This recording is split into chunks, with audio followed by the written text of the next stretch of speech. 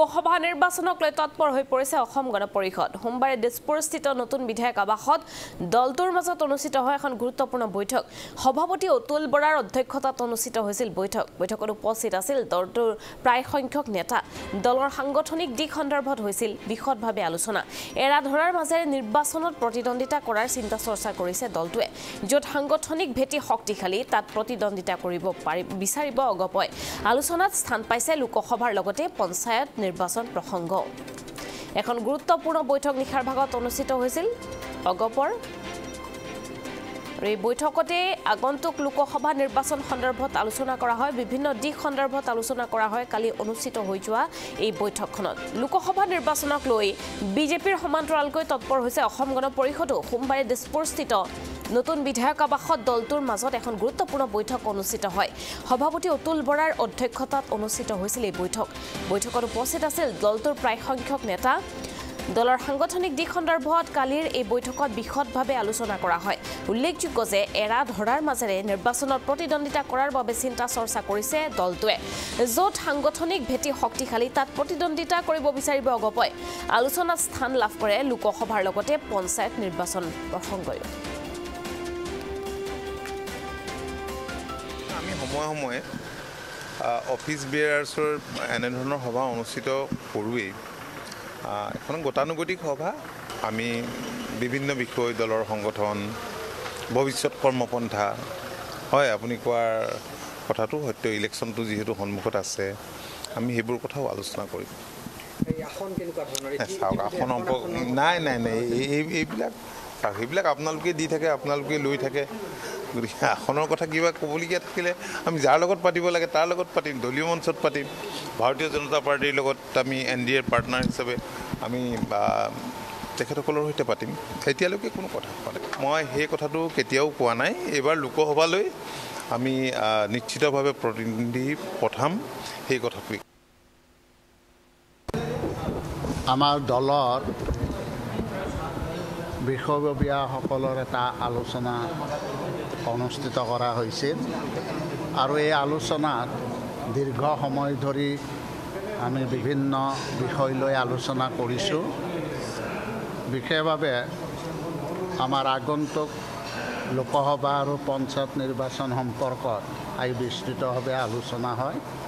আৰু লোকসভা আৰু পঞ্চায়ত নিৰ্বাচন সম্পৰ্কত আমাৰ একেবাৰে তৃণমূল পৰ্যায়ৰ পৰা দলটোক আৰু অধিক শক্তিশালী কৰাৰ ক্ষেত্ৰত গতিশীল কৰাৰ ক্ষেত্ৰত কেতবোৰ সিদ্ধান্ত গ্ৰহণ কৰা হৈছে। আৰু তাৰোপৰি আমাৰ প্ৰত্যেকখন জিলাত আৰু বিধানসভা সমষ্টিত পুনৰ আমি বিশেষ কৰ্মকৰ্তা সন্মিলন অনুষ্ঠিত কৰাৰ কাৰণে সিদ্ধান্ত গ্ৰহণ কৰিছোঁ।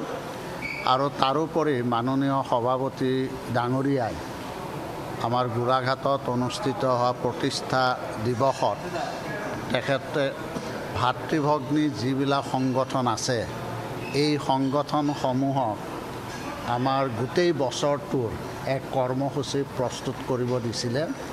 আজি সেই কৰ্মসূচীৰো প্ৰতিবেদন আজিৰ এই বিষয়ববীয়া সভাত আজি দাখিল কৰে।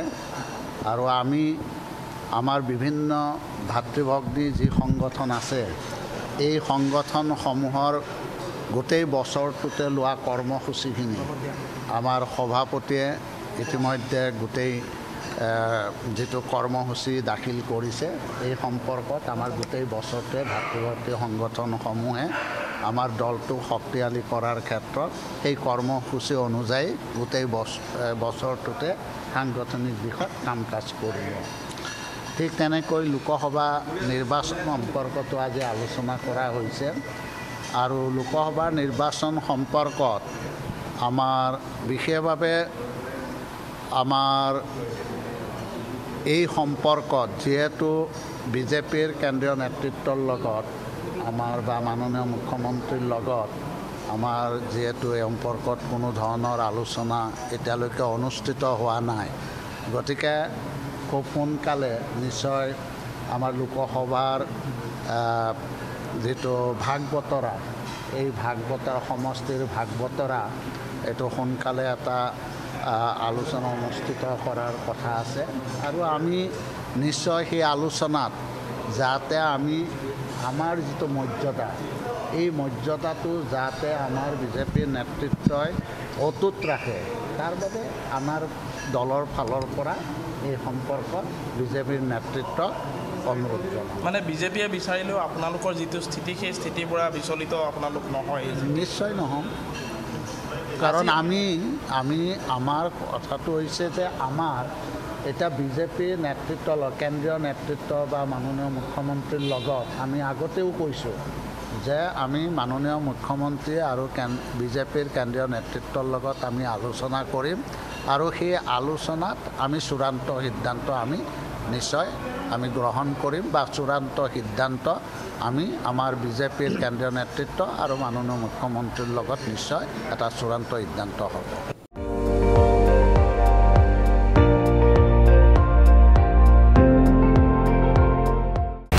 আপুনি চাই আছে এন ডি টুৱেণ্টি ফ'ৰ। সৰ্বশ্ৰেষ্ঠ নহয় সৰ্বোত্তমৰ দৌৰত